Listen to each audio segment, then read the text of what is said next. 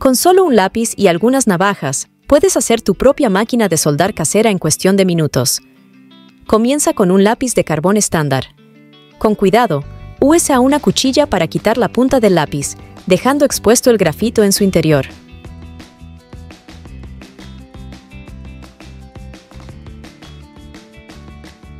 Luego, toma un cable de pilas de 9 voltios y envuelve el extremo rojo alrededor de la punta del lápiz, asegurándote de que esté bien sujeto.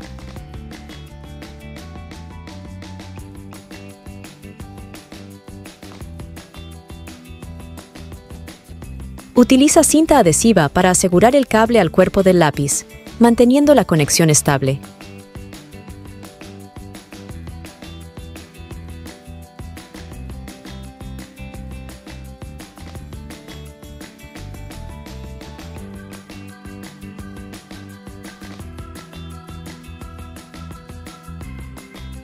Ahora, toma una navaja de barbero y amarra el extremo negro del cable a uno de sus extremos.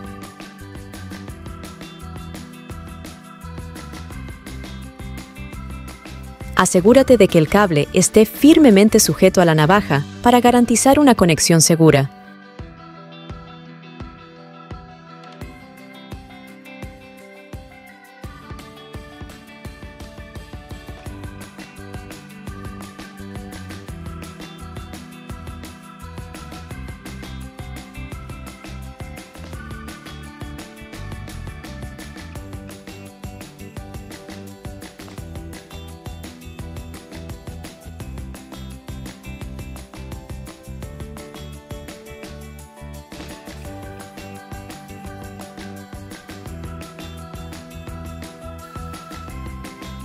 Es importante utilizar una pila cuadrada de 9 voltios para alimentar tu máquina de soldar casera.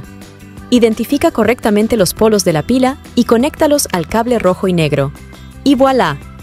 Tu máquina de soldar casera está lista para ser utilizada.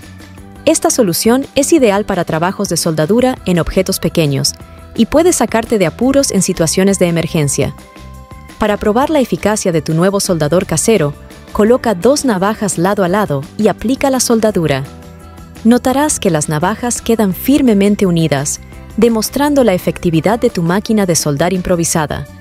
Así que la próxima vez que necesites realizar una pequeña soldadura en casa y no tengas acceso a una máquina de soldar convencional, no dudes en probar esta solución casera con un lápiz y unas navajas.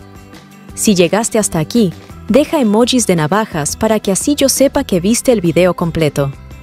Si es la primera vez que ves uno de mis videos, suscríbete para ser el primero en recibir nuestros tips.